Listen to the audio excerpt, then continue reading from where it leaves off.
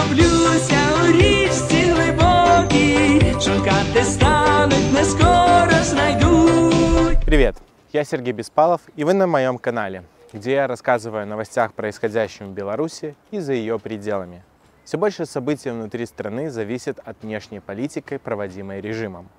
Для нас их действия и решения никаких положительных прогнозов не несут. Рассмотрим это поподробней. Поехали!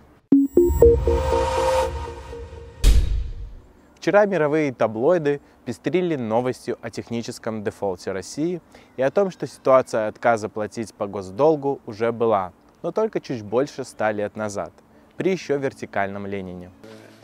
Вы почему Так, ну-ка. на субботничке коммунистическом не были?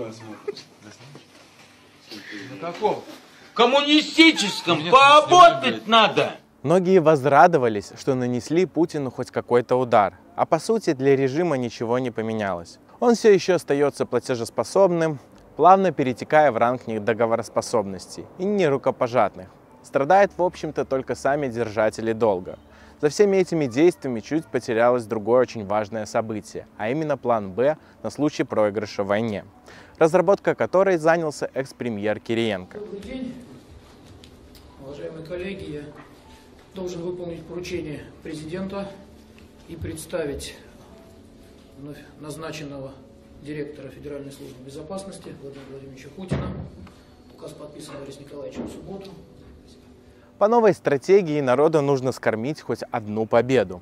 А этой победой должна стать образование нового Третейского союза, в который входят оккупированные части Украины, оккупированная Беларусь и Рашка. Для этих целей и хранят ростовского любителя золотых батонов Януковича, чтобы показательно вернуть его в власти, а потом его рукой подписать документы наподобие Беловежских соглашений. Беларусь уже Рашка воспринимается исключительно как собственный военно-промышленный комплекс со всеми включенными в него предприятиями. А розовые мечты этого плана портит только несговорчивость таракана и яростное противостояние народа Украины. Экстренное совещание в Питере было именно по этому вопросу.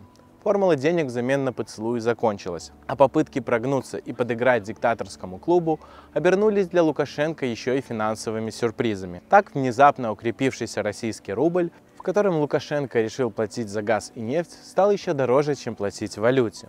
Но это еще полбеды.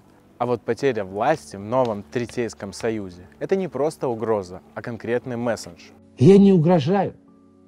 Я предупреждаю, что может быть. Уже известно, что в ходе переговоров Путин даже выбегал из зала с фразами «он вообще понимает, что отсюда может не уехать». А все это из-за того, что Лукашенко отказался от своего новообразованного положения. Какой хитрый человек. В результате чего встреча оборвалась часовым перерывом и продолжилась уже под новой реальностью, в которой Лукашенко просит ракетное вооружение в обмен на самолеты.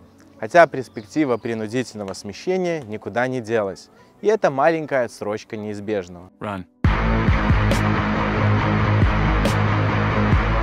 Уже пора подумать о побеге, сделать то, к чему принуждал все это время белорусский народ, который, к слову, сократился с 10 миллионов человек до 5-8 миллионов. Именно такие данные насчитал Белстат, а потом по-быстрому решил эти данные засекретить. Здесь и смертность от ковида, и повышенная смертность пенсионеров, и массовая иммиграция населения от беспредела режима. Не важно, как голосуют, важно, как считают. Деньги в казне убывают также пропорционально.